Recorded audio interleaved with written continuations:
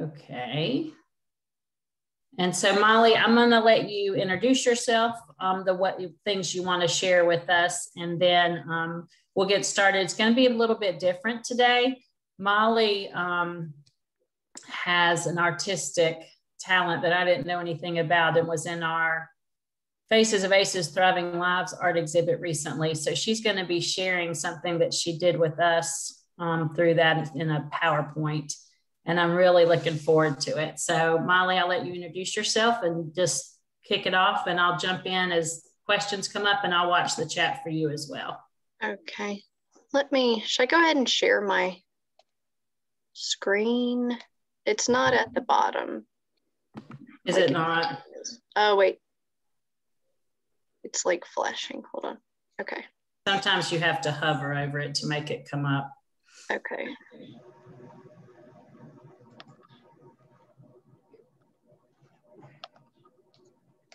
Can y'all see that?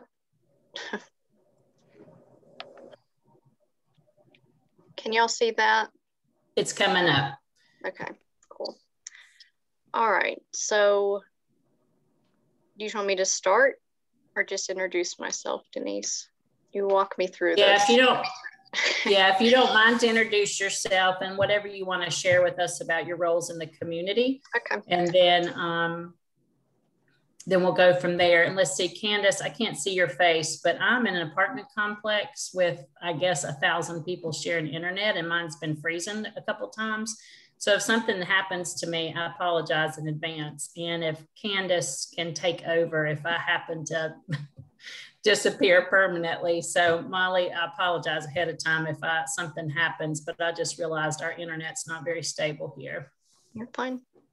Okay, so um, my name is Mollie Furman. Um, in my professional roles, I'm the program coordinator for the Watauga LEAD program and the Recovery on the Inside, which is the jail um, program. Uh, I have a social work background and work with uh, Marissa and Ashley and Mackenzie at the uh, and Valerie at the Mediation and Restorative Justice Center in Boone. Um, I'll get into quite a bit of my story here, but I'm a Watauga County native. I was born here. Um, my partner and I, we have six children between the two of us. We're a blended family, um, and we live out in Bethel.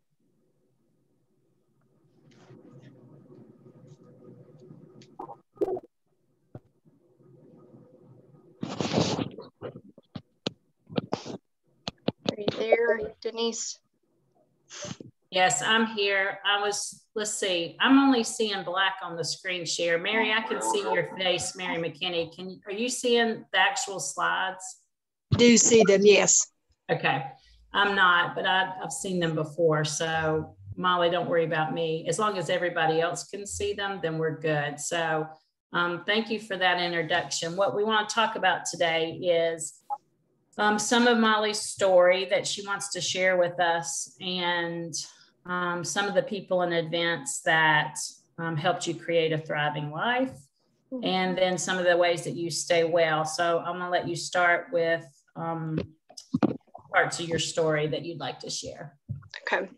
Um, I want to preface this with that this was not the way that I intended this to be shared. Um, Denise had asked if I would do this series, and then I said yes. I always try to say yes. I'm blessed that my life has been, um, or today is a life of service, and I try to always say yes and show up when I'm asked to um, to share part of myself, whether that be personally or professionally. And I agreed to do this session, and then we did the or had the opportunity to do um, the art exhibit and they kind of coincided and i had wanted to draw out like some parts of my story um, for a long time, but never really had a reason to do it. Um, and so I thought, well, I'm going to paint this thing on a big like scroll of paper and record the whole thing, which I I did, and um, wanted that to be at the art exhibit. And then as I was like an hour away from finishing editing this video that I spent so much time on, like my computer just totally gave up being a computer. Um, so I had to scrap that whole idea. Um, so it's pictures today, but I think in a way, I had wanted to make the video and record my voice over it kind of as a way of hiding, honestly, if I really look at like what the motivation was there is that um, it's hard to talk about some of this stuff in front of a group of people. And I've, I've been fortunate to share my story a lot, but it always makes me kind of nervous to do. And by that happening, this was kind of a forced, like, you know, I'm not going to hide behind it. I'm just going to show up and, and do it. Um, so I'm going to try to run through these because there, there is quite a bit. Um, so we can get to the good part at the end. So like I said, my name is Mollie. I was born in Watauga County. I've lived here um, almost my entire life.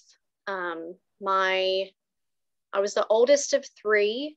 Um, I have a younger brother and a younger sister, and my parents. Um, I was born into a really privileged family. I didn't want for much as a child other than um, maybe to be understood or loved in a way that made more more sense to me. Um, my parents got divorced when I was five. I don't really remember them ever arguing about that or talking about it. It was just one day that we weren't the family that we were the day before. Um, and I started to go back and forth between these very two different houses. Um, at my mom's house, I would wear um, smocked dresses and patent leather shoes, and I took the etiquette classes. And at my dad's, I was a total tomboy. I rode dirt bikes, and me and my brother shared clothes. And I got really good at becoming who I thought you wanted me to be. Um, whatever identity or persona that I needed to put on that I felt like would make me fit in. Um, my parents both remarried people that had um, children from their previous marriages. And then my dad um, and my stepmom had another daughter, Lily, who's 10 years younger than me. So I went from being like the oldest of this smaller family to being in the middle of seven children, um, which was made it easy to blend in and to kind of go um, kind of go un, unnoticed. Um, yeah. And Denise, you can stop me at any point if you want to.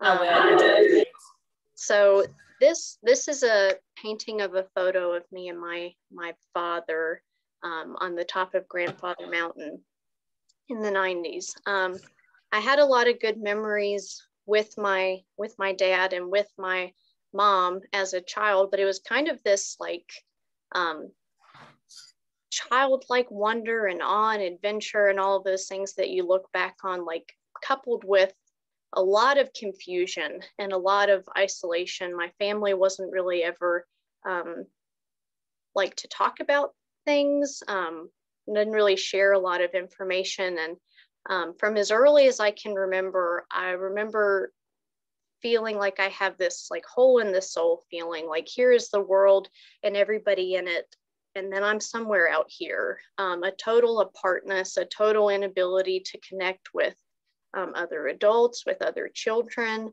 um, constantly wondering if I'm good enough, if I'm measuring up. Um, so I felt that way from from some of my earliest earliest memories. Um, it, when I when I got into high school, or actually, I'll, I'll back up a little bit before that. Um, when I was like 10 or 11, um, I found like self harm, um, self harm as a way to kind of regain some control over my life, that it was kind of this um, private um, release or this thing that I could do to change the way that I felt. Um, on the inside and that worked really well for me um, until i discovered drugs and alcohol later when i was in was in high school um, and it was uh, the first time i ever drank it didn't make me feel beautiful or confident or any of those things it just made it so that that voice in my head that was constantly telling me i'd never measure up just disappear like i felt like i could finally take a deep breath for the first time i felt like I could finally connect with other people. Um, and I thought I had found the solution. It was like a spiritual experience that I had found this like missing piece, that hole in the soul feeling, and finally um, finally been filled. So I just decided to do that as as often as I as I could. Did you say something, Denise? No, I did it. I've got a lot of feedback here, though. I'm sorry. You're okay. Um, so I can vividly remember being 14 and thinking, um, there's no way that I'm going to make it um, to 18 years old. Um, the way that I that I feel, the stuff that's going on at home, this is just absolutely um, intolerable. Um, and when I was about 15 is when I made my first real um, suicide attempt. Um, and I can remember going to bed that night. I picked a day to do it and that night going to dinner with a perfect sense of peace and ease that I hadn't felt in years, that this was finally going to be over. Um, and I, I made the attempt and, you know, I had written a note and it was, it was unsuccessful and um, woke up the next morning and nobody realized it. And I just went to school like it was a normal day and um, feeling so small and insignificant that I couldn't even kill myself. Um, so that was kind of how how high school went went for me and and then my whole world kind of changed um, in 2009 my father um, who him and i at the time uh, didn't have a great relationship. I can honestly say at the at that time i didn't have a great relationship with really any positive adult. Um, like i said it was really hard for me to connect with other adults and feel like i could trust people um, to open up with what I was doing, with what was going on in my life, because I felt like if I'm honest about this thing, then they're going to try and stop me or they're going to take it away. And this is the one thing that I'm holding on to that makes my life somewhat bearable.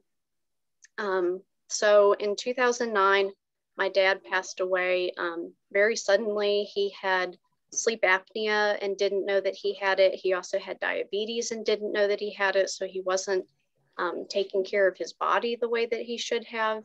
Um, and the sleep apnea had progressed to the point that he suffocated um, to death in his sleep. Um, and it was another one of those things that my family didn't really talk about. Um, we didn't grieve together. Um, we didn't even really talk about how he passed away. I found out how he died um, about a year later um, from an EMT that actually responded to the to the scene, um, and that was how I how I found out how he had had passed away. And I, um, the week after his funeral, I left my dad's house and never went never went back there. Um, I've been back once and since I was an adult, but it was just when he died. Um, it was like that whole half of my family also died in a lot of ways. Um, so that was my sophomore year. The summer after my sophomore year, I found out that I was pregnant um, with my son. Um, so I dropped out of high school. Um, I went to Caldwell at night and got my high school equivalency. Um, I got married when I was 17 before he was born. Um, and that was like a decision that was made for me. A family had basically said that if you're going to live with this person and have a baby with this person that you need to be married. Um, and so i i just said okay. And and that's what we agreed to. And um, i believe at this point in my story in my addiction like i hadn't crossed that imaginary line in the sand um, where my strongest like desire willpower to stop like doesn't work. Um, at this point, I did have a, I hadn't crossed that line, and I did have a really good reason to stop what I was doing, and that was my my son. And so I was able to stop drinking and using. Um, for my pregnancy, I moved out. Like I said, we got married, and um, I was working full time and going to school at night. And on the outside, like everything looked really good. Like I had gotten um, all of these things that I had said for my whole childhood that I wanted, or that when I attained this or that, you know, that I would be free. Um, but it didn't take long after my son was born that I kind of started falling apart again, like that feeling of apartness, separateness. Um, still unable to cope or connect with other people, that that started to come back. Um, and I started drinking again. And my uh, husband and I separated um, soon after he was born. Um, and I moved out. This is a picture of um, the first apartment that I ever um, had by myself. And it was like the first time in my life that I could really drink or use the way that I wanted to um, behind closed doors. Uh, and I've heard people um, in recovery say that there's there's two types of addicts and alcoholics that there's people who go out and dig a hole a little bit every day and it takes years to find a bottom and then there's people who go out and find a mine shaft and just jump down into it. Um, and that was definitely my story.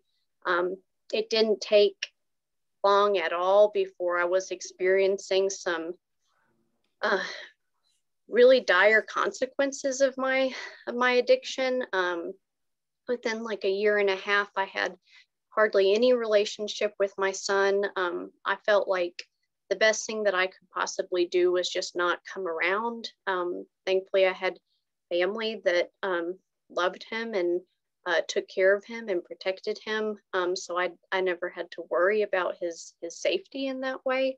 Um, and I felt like the best thing I could do as a mom was to stay away, even though I loved him more than I'd ever loved anything. Um, I was no longer drinking at all for any type of fun or um, enjoyment. I was drinking to to overcome that overwhelming obsession, to capture that elusive feeling, so that I can breathe. Um, and living really only only for that. I couldn't keep a job, um, couldn't pay my rent. Uh, here at the end, this is a picture of a trailer that I in um, on the top of Beech Mountain. It had no power, it had no running water. It was the middle of winter, and this was in 2011, the winter of 2011. And it was when I was living here that I had this um, moment of clarity that I was um, 19 years old at the time, um, that I was so young and had the potential of so much life ahead of me how on earth did it get this bad? And i was given a gift of desperation i think um, where i just wanted i wanted to live. I wanted to be a mom. I wanted to do things differently.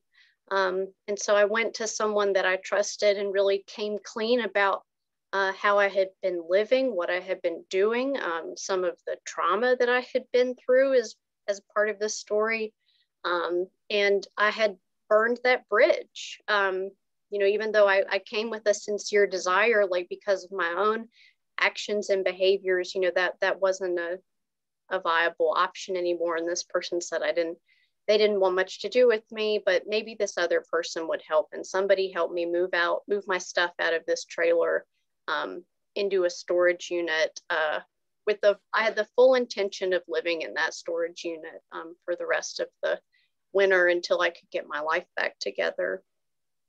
Um, and I think they could tell that. And so they offered to let me stay with them. And that started off like maybe the two worst weeks of my life um, where I have a picture of just my black hole. I didn't really know what to say about this part, um, where I was sexually assaulted um, by someone that I had really um, was really close to and had really trusted prior to that. Um, and I didn't have any of the words um, to describe what was happening. I had no idea where to go or who to, to tell. I thought it, I didn't know what um, threats or coercion were at that point at all. Um, just that this, this is all my fault, that I'm dirty, um, worthless, you know, all of this negative, you know, self self-talk and um, looking back on it now i can see like that what i was experiencing was like that immediate ptsd after that event but at the time i just thought i was really losing it um, going into a store and um, almost all of the men that i saw i could find his face um, in those people's faces, hearing a voice on the other side of a grocery aisle, and it's his voice. Um, it was a very scary, um, scary time period.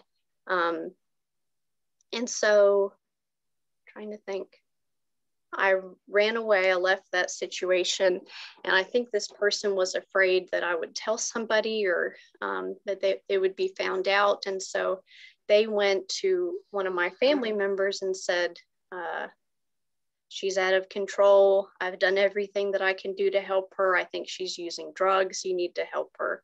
And that was the first time that anybody in my family says that they knew that I had an addiction problem or said that they knew um, what was what was going on. Um, so out of that experience, I got to go to treatment for the first time. Um, I've been fortunate enough that um, you know there were some financial resources made available for me to go to treatment, and I went down to South Florida. Um, kind of having no idea what it was that I was doing, but just going through the motions. Um, and that was the first time that I had ever been um, to a 12 step meeting before. And I walked in, and it was a speaker meeting, and the person speaking was a, a much older Black man. And on paper, we had nothing in common. Um, but he told my story word for word, just just about um, maybe not in his lived experience, but in the way that he felt. Um, in that uh, apartness, that hole in the soul, always trying to fill it with something and um, failing miserably, um, making the same irrational choices while drinking or using, prioritizing drugs or alcohol over over anything else that I can always talk myself back into, well, this will be different this time. I won't do that again. But then I put a drink or a drug in my body and I'm off to the races and nothing can stop me. Um, and prior to that, I thought that I was just chronically different from other people. I knew that I drank too much. I knew that probably most normal people didn't use the drugs that I was was using, but I didn't really think that I was an addict or an alcoholic. I thought I was just really like mentally, physically, spiritually separate and different from other people. Um, and it was the first time that I felt like somebody else could understand me, or here was a group of people who were just like me and had been where I had been. Um, and they were actually happy and they were living life successfully. Um, and I really wanted that. Um, but that disease like crept back in and I made up an excuse to say, you know, forget this. And I, I went home and relapsed and uh, another horrible period, but um, I, a seed had been planted in me, and I knew that where I had been was where I needed to go back. And so I drove back down to South Florida um, to go to halfway, showed up at the halfway house, had been up for way too long, and they took a look at me and were like, You're taking a drug test. I couldn't pass it, um, failed it. So they said, You can't stay here. And I had been living out of my car for a lot out of over the last couple months. And so I said, Well, what's one more night?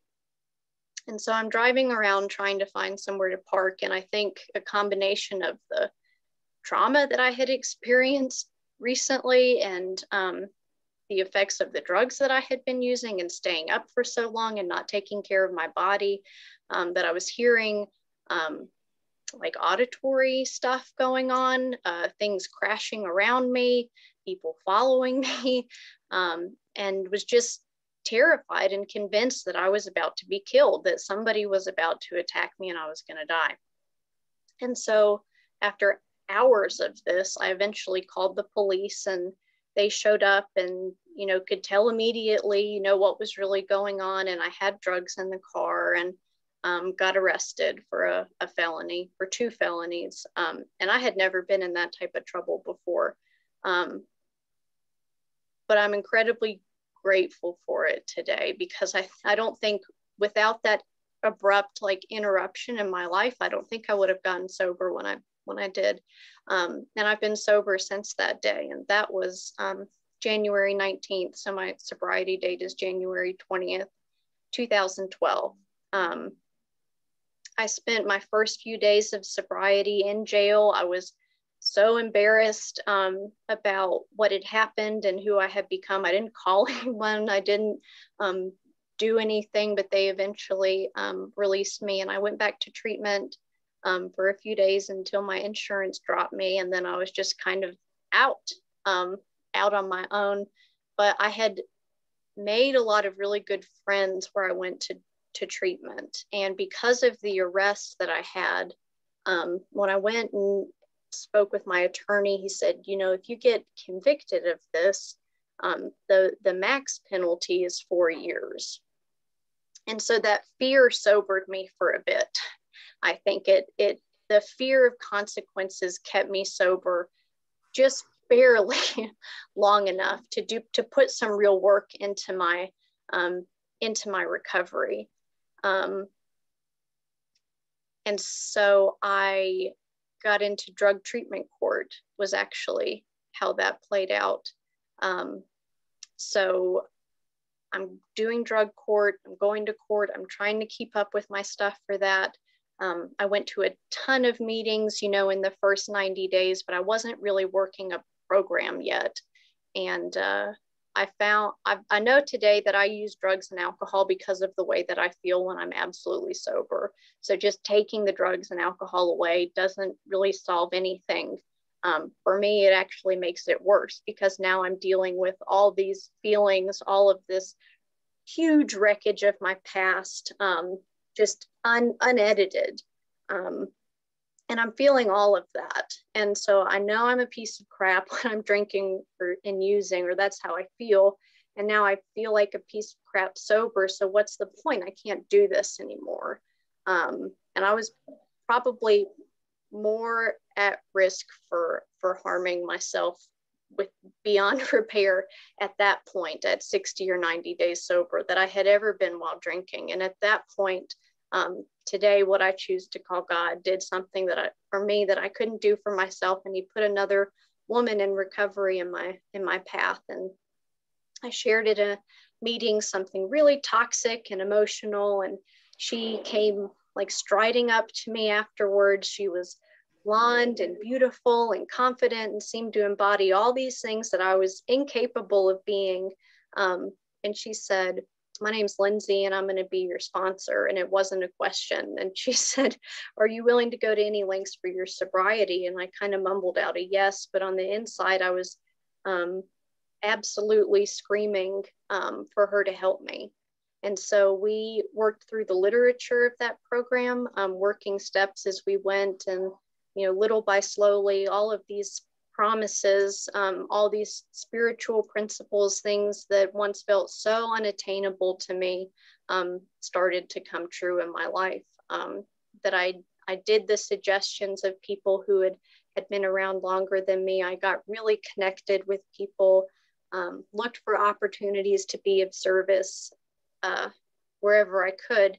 And like I said, little by slowly, life just started to happen in a way that worked. Um, I believe that it is possible to recover from addiction and alcoholism. Um, that doesn't mean that if I go out and pick up a drink or a drug later today, um, that I'm not going to be right back where I was 10 years ago. It means that I'm no longer at the absolute mercy of a disease that tells me the only solution to life and the only solution to the way that I feel is to drink and drug myself to death.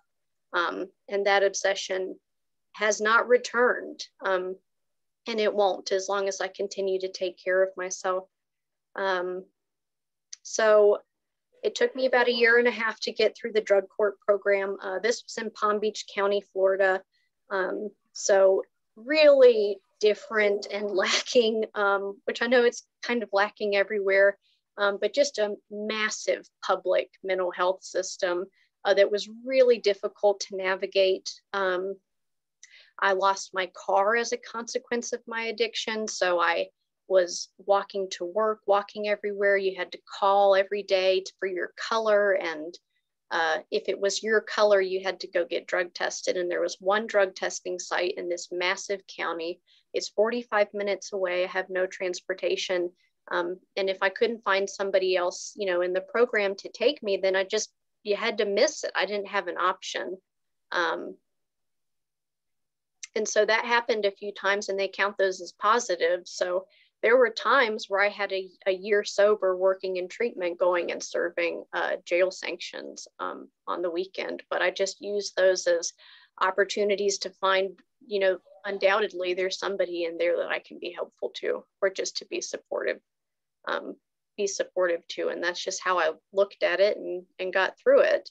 Um, what am I looking at here? Okay, so at about a year and a half sober, when I was allowed to leave for leave drug court, um, I started to really feel called um, to go back home. I think it was absolutely necessary for me to go go away to have a break from the chaos that was my life in order to get better for myself but it was necessary for me to come back and clean up the wreckage of my past um, and that was terrifying to me to move back here um, i felt like i had nobody and nothing but bad memories here um, but i knew i wanted to be a, mom to my son i knew that that if it hadn't been for him that I wouldn't have gotten sober. And so one morning I'm sitting on the porch of one of my friend's house saying, you know, all of the reasons why this won't work out, all of the reasons why this is surely going to end in my in my demise. And uh, he just looked at me and said, "What would you do if you weren't afraid?" Um, and that just stopped me in my tracks and continues to stick with me today when I'm facing some type of um, indecision that what would you do if you weren't afraid? Um, and so I packed a U-Haul and I went home. And I just kept doing the things that worked for me down there, up, up here. There definitely weren't as many resources up here as there were in Florida, um, but continued to look for opportunities to be of service, continued to engage with 12 step programs. Um, and then Tanner. so my son Tanner, um, he's 11 now. Um, and when I when I came back, I hadn't been a huge part of Tanner's life. And he, you know, I would go to pick him up from school and he would say thing or daycare and he would say, like, how much longer do I have to stay with you? When can I go back, you know, to this place or to that place? Um, and that absolutely broke my heart because I wanted to be Tanner's mom and I wanted him to love me more than I wanted anything else in the world. But I couldn't be angry with him for that, that I caused that feeling in him with my own absence and lack of care and attention. And I couldn't apologize for it in a way that would make sense. I couldn't explain it to him in a way that makes sense. He was three at the time. And so all I had was my actions. And so I just continued to show up for him day after day and let him, you know, work through what he needed to do in order to trust me again.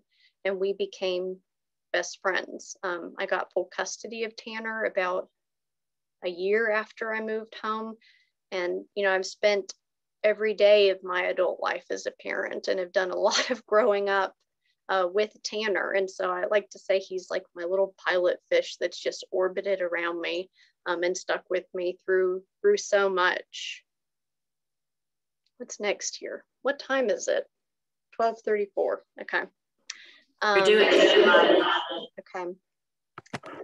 Um, let me say one thing here since you're taking a breath, and that is when you were talking, one of the things when we were talking about this, um, you and I both, I can't remember which one of us said it. I think you said it, and it so resonated with me that every day when you and I, I don't know if this is just true for people with trauma. It seems like that every day when you create a positive life, I have felt, and what you said was wreckage is one decision away. And mm-hmm. so that feeling of if I don't make the right choices today, or if I choose a certain thing, that this will all be gone you know, and I'll be back in the depths of, um, you know, whatever trauma and despair. And so I, I don't know that it looks like to me sometimes that when I look at other people who maybe don't come from trauma or addiction, that that is not something that they speak of feeling, you know, that it's, it seems to be easier somehow or not so scary, but just that I think it is common for people that have a high trauma background, just the, the knowledge that one misstep or the belief that one misstep is going to recreate all the things that we try to to get away from and rebuild. So I just wanted to bring that back up. Yeah, absolutely. And that idea that like anything that I put before my recovery that I'm going to lose, you know, even if those are really important things like my family or like my job, you know, um, obviously try to show up for my family in every imaginable way, but I can't let those responsibilities become more important than my own like maintenance you know or else i'm not going to be able to do those things anymore. So yeah. Okay thanks. You can go ahead. Um so when i before i had moved back home i went and made amends to a, a therapist that i had had when i was in florida and asked um, how how can i make this right? You know what can i do to make it to fix it. And he said to stay sober and to go back to school specifically for social work. And so I said, okay, I'll do that. And I did. And so I applied to ASU as a non degree seeking student. Um, I had done really bad in high school. Um, when I finished my high school equivalency, I walked out of there with the full intention of never stepping foot in another classroom again.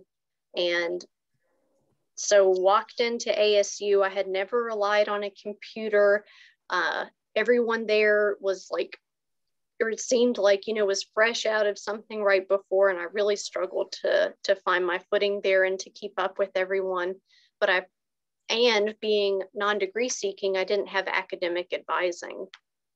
So I'm kind of taking things at random and just trying to figure it out. And a couple of adjunct professors helped like guide me uh, through that process. But I, I found that when I really wanted to, to do something and had like a, a clear head, that I was capable of doing all kinds of things that I thought was impossible before. And school was one of those things. I found that I not only enjoyed school, but that I really excelled at it. Um, after about two years, I applied as a degree seeking student at ASU and was turned down because I had a high school equivalency. They said I didn't have enough. I had a 4.0 at ASU, but I didn't have enough basic education requirements to apply to any university in North Carolina. So I had to go back and get my associate's degree, um, which was a humbling experience and probably exactly what I needed. And then I came back to ASU and entered the social work program, and it was kind of a similar feeling as coming into 12 step recovery for me. It was like I found this group of people that are just like me that I didn't know even existed.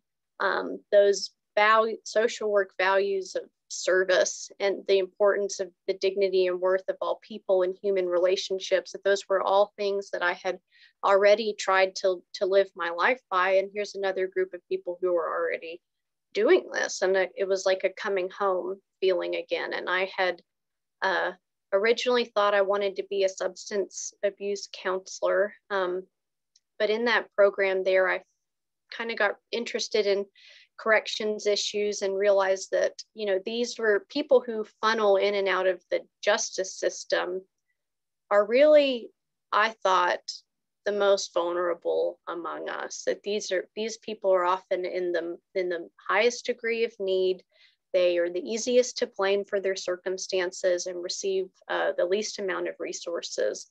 And I just jumped like headfirst into that topic. And I knew that th- this is what I wanted to do. And at the time, it didn't seem like uh, many other people people were doing that.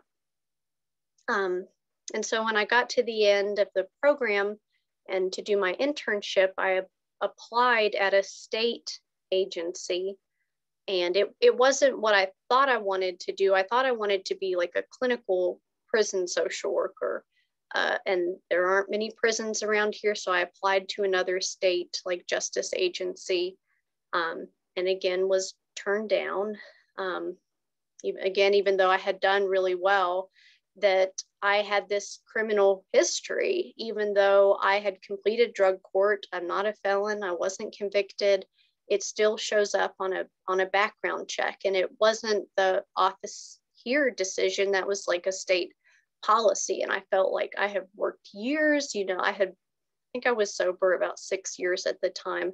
Um, really threw my whole life into this, and that this is just always going to be a barrier for me. Like I'm always going to check that box. Nobody's going to give me a chance, you know, all, all, of that type of thinking. And I went to a groups class the night after I'd been turned down and kind of shared that with the group. And a woman came up to me afterwards with her phone in her face and she said, uh, my dad is Kelly Redmond. He's the captain. He's now the major, but at the time he's the captain at the sheriff's office over the jail, and he wants you to call him.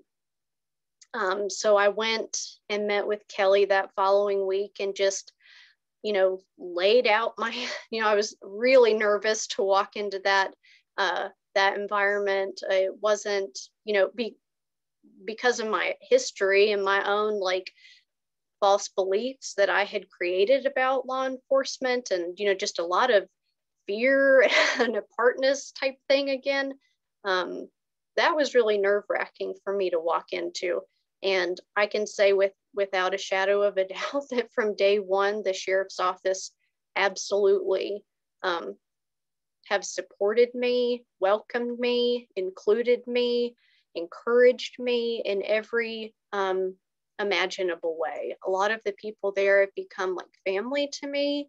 Um, some of them I talk to more than my own family today, um, which kind of makes what has happened for me so so heartbreaking to see what they're going through right now from a distance and that we're all like we're fixers and there's no real fixing um, so ashley ashley's on here we've just continued to try to just show up um, and, and spend time with those people over there. Um, but so Kelly and, and Len, the sheriff, really just brought me in under like, we recognize that there are people in the jail who shouldn't be there, who continue to come in and out. They have um, mental health issues, they have substance issues, and we're law enforcement. Like, we don't really know what to do with this or how to fix this um, to just do something, you know, with that topic. And they just, I mean, they they knew my background,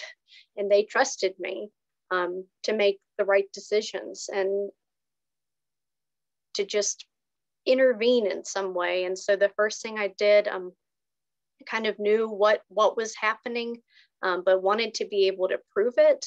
Um, wanted to be able to say on paper like that this is a reality you know the, these are the stories of people who cycle in and out of jail um, so i did a big research study i interviewed 50 habitual or chronic offenders so they had been arrested three or more times in watauga county um, to look at the biggest causes of recidivism in watauga county and overwhelmingly the four big ones were childhood trauma um, housing insecurity, mental illness, and substance use. And then with all those people that I interviewed, I tried to do like some basic um, resource coordination or connecting with services. And that's really where the recovery on the inside or the, the jail program started. Um, and since then, through that program and the, the LEAD program, which essentially works with the same population of people just outside of jail, um, we've been able to help or work with hundreds of people. Um, and not that I think I'm so great or that we're, you know, whatever, but we've we've secured over a million dollars in grant funding, you know, for those programs. And just a lot of really powerful things have come out of that work that wouldn't have happened if one person, uh, Kelly Redmond, hadn't given me a shot or an opportunity. Um, and I'm eternally grateful um, for that, uh, not only for what they've done for this community, but what they've done for me personally. Um, like I said, being trusted, being involved, being included, um, being made to feel like family there has been a huge, huge part of my my story and my recovery. Um, so in the midst of all of that stuff with school and with the jail, um, I had two more children. Uh, Meadow is almost two, and Sawyer is almost one. And uh, life has not been easy. We've been dealt a lot of cards that I wouldn't have have anticipated. Um, I got married and separated again, and that was really sad for for all of us. But you know, if, if that hadn't have happened, I don't think where I would be where I was today, where uh, my partner and I together, we have six children. Um, and they're the light of my world. They're, or Tom's kids, their mom is an addict and an alcoholic and hasn't been um, a part of their lives in some time. And um, I still do a lot of like online meetings now um, during the pandemic, and his kids are all very interested in that. And sometimes they'll stand behind me and just uh, just look and listen. And a few weeks ago, I had this experience where I just like realized that I get to stand in the gap of where their mom was. Um, not that I'm taking her place or that I'll ever be their their mom, but I have this opportunity to show up for them and be like a sober, responsible, healthy woman in their lives uh, where their mom's not able able to be and that's because i'm sober today um, and because of my recovery and what an awesome responsibility um, that that has been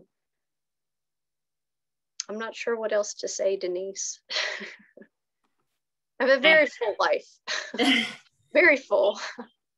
Thank you, Mollie, for sharing all that with us. I, as I hear you telling these things, and this has happened to me before when listening to other people's stories, what hits me is the amount of destruction that we can do to a person is astonishing, but so is the resiliency of the human spirit. Mm-hmm. And so um, I really appreciate you sharing all that. And one of the things that we've talked about with these Thriving Live series is that it's so important not just to talk about the trauma, but the healing and the growth and you know just having someone to believe in you and i you and i didn't say to you identify a person who was your your champion that believed in you probably before you even believed in yourself but i hear that in your voice when you talk about kelly.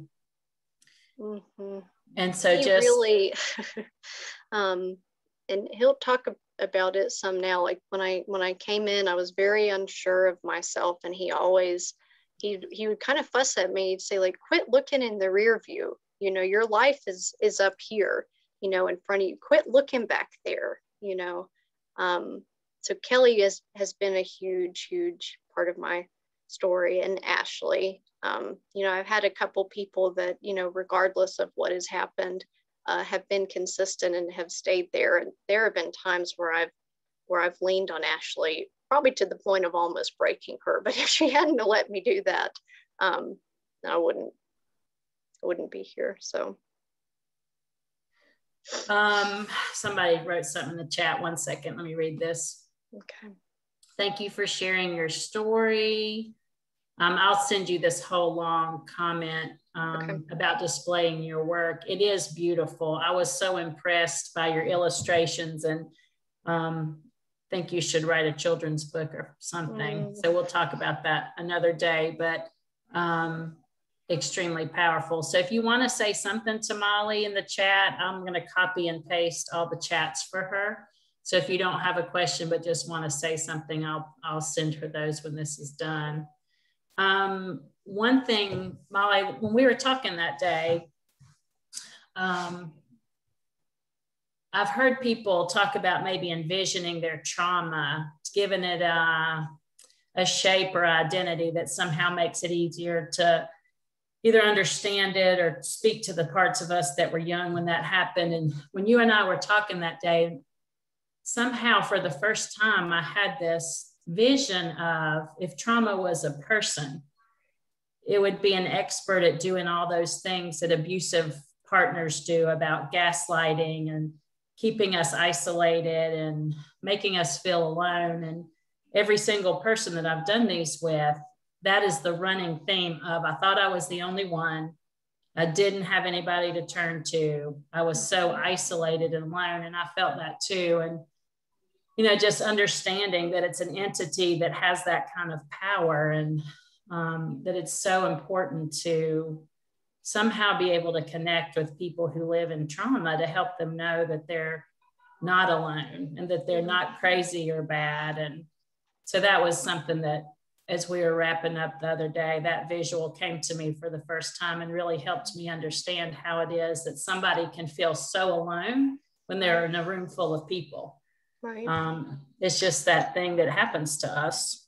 Yeah. And I think, you know, that I know for me, like that feeling, that was very true. Like that was my whole world. That really is how I felt, but it might not, it wasn't always, you know, the reality you know, there probably were people. I mean, Denise, uh, self disclosed, Denise was my school social worker, you know, like during this time where I was, it was incredibly um, chaotic. And I know Denise would have helped me. I know she would have done anything for me um, if I had come to her, if I had come to her attention. And that was probably true for other people as well, but that we don't know what people are going through. Um, I don't think that I set off a lot of alarms for other people because my family was very wealthy, that we were very privileged, that I, you know, I did have nice clothes. I, you know, I didn't fit, I didn't check the boxes of things to look out for, but on the inside, you know, I'm absolutely falling apart. Um, and so today, kind of going off like what you were talking about, like that feeling of apartness and unable to connect with other people or unsure of where to turn like i see part of my role in service is to not wait for people to ask me for help. Um, you know to try and that's why i love what ashley and i do so much is that we get to show up and work with people who otherwise would have gone unnoticed um, or that other people don't want to work with or that have been written off over and over and over again. And even if they're not ready to stop using or stop drinking, like that doesn't care how important you are as a human being and that we care about you and what happens to you is important. Um, and so if you're if you're not ready to take steps towards recovery, you know, then for us it just becomes about like creating that caring positive consistent relationship with people so that when they are ready to take steps towards recovery that they know somebody cares about them and is willing to pull out all the stops to get them the help that they need. Um, more times than once we've been somebody's only emergency contact. Uh, we had last year um, a client that we ended up being responsible for their cremation, that they had no family, um, that we navigated the unclaimed body process. I mean, and I went to to pick up his ashes um, from Austin and Barnes and drive them, you know, back back here. And uh, I had this moment of where I looked over in the car seat and he's sitting there, and all I could think was that I wanted you in that seat in another way, but it didn't happen. You know, I wanted to take this person um, somewhere safe and it didn't happen. And that that's the why. That's why we work with difficult people. That's why we show up because we never know how how important or how much we're needed. Um, and that type of thing has happened over and over honestly when you're when you're talking about not waiting for others to ask for help and we were working on the art exhibit and i was trying to think of what i wanted to do and about that time, I had asked somebody to help me with something and they showed up and I didn't think twice about it. And somebody took a picture of it and sent it to me later. And when I was looking at it, I was like struck by the fact that I'm 52.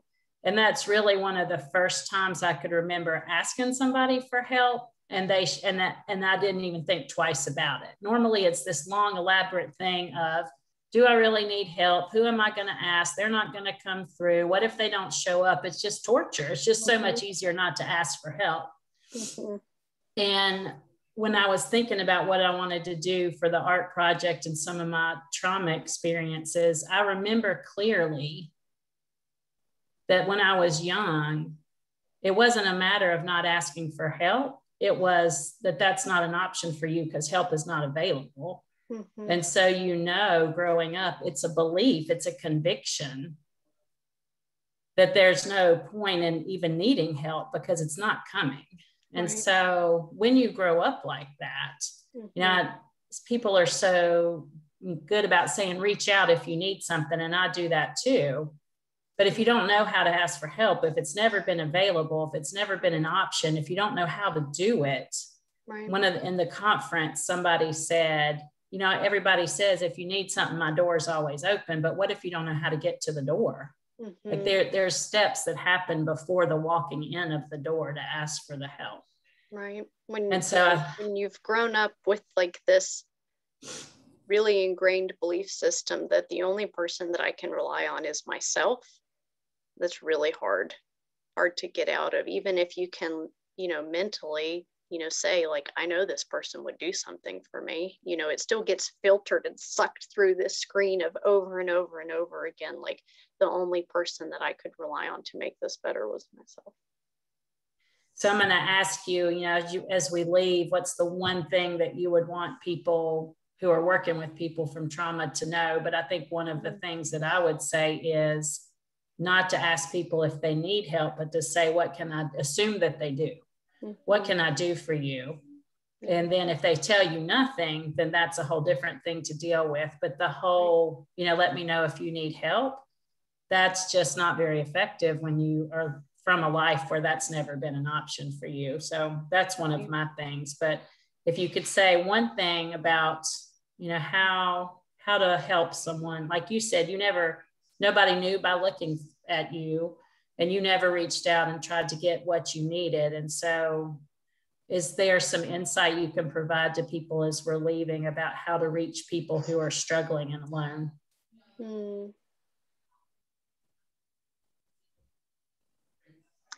I guess I just want to piggyback on what you said, like, especially in like this time of like community trauma that we're going through.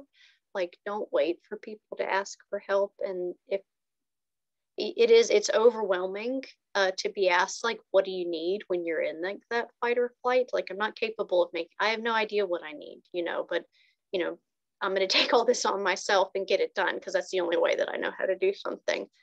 And i think that's true for a lot of people with trauma backgrounds or like i said right now and what we're going through is to if someone says you know nothing or you know find something anyways even if it's something small. You know it could be like just a, a text reminder just saying hey i care about you you're important or you know whatever or just yeah don't don't wait. I think we can always find you know small ways to show up and be of service. Well i so appreciate your um, being willing to share so much of your story. Um, and all the things that kind of brought you to where you are. And so we're going to get ready to wrap up. There's been a lot of comments in the chat that I'll send you. If you have anything you'd like to add before we go, you've got a few more seconds to do that. Um, thank you, Mollie. I know you you mentioned to me that you haven't done anything in an audience quite like this, so I appreciate you being brave. Um. It's it's an inspiration to us, so thank you for that. Well, thanks for giving me the platform to do it. And I look forward to seeing you soon. Um, everybody, I hope the rest of your week goes well. And um, one more quick housekeeping thing is that um, I want y'all's help in finding future people for us to talk with and listen to. So um, I've sent around a one question survey should take you 30 seconds and so if you can um, send me any ideas to help me with that, that'd be great. Otherwise, I'll let you go. Do something before your next meeting starts and hope the rest of your day goes well. Thank you, Mollie. Thank you.